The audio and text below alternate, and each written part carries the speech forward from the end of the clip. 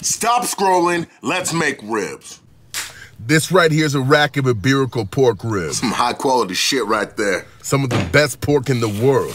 Start out by removing the membrane. From there, fish sauce is our binder. I'm just trying to bring some umami, baby. Smothered and covered in Steven Raichlen's Project Smoke. From there, onto the big green egg. Gonna smoke them at 225 for two and a half hours. Once the bark is set into tin foil, gonna wrap them up, back on until they're tender.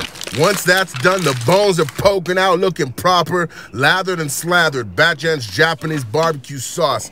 Back on for 10 more to let the sauce The set. rack attack is back, Jack. You're goddamn right. And it cuts like butter. The moisture level juicy like Lucy. And the bite, That's a perfect bite.